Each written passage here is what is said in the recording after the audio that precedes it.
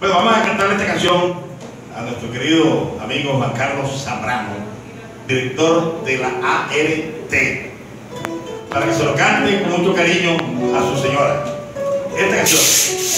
Y de parte de nuestro hermano Carlos Eduardo Campo Coelho.